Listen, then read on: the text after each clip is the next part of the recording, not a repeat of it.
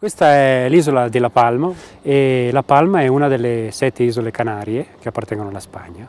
Ecco, questo oggetto alle mie spalle è il telescopio nazionale Galileo, attualmente è il telescopio più grande che possiede Italia.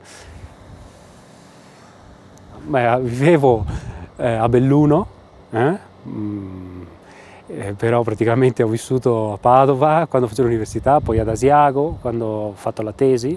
E facciamo 11 anni che sono qui perché bisogna fare una scelta quando uno finisce l'università e decidere resto qui e faccio la carriera di ricercatore o lascio quello che ho e vado dove so che c'è lavoro, dove so che mi pagano bene, che posso fare quello per cui ho studiato e eh, sarò sempre a contatto con eh, il, diciamo, eh, il, top della, della ricerca. Ecco. Diciamo che la montagna non è così solida come le Dolomiti, ma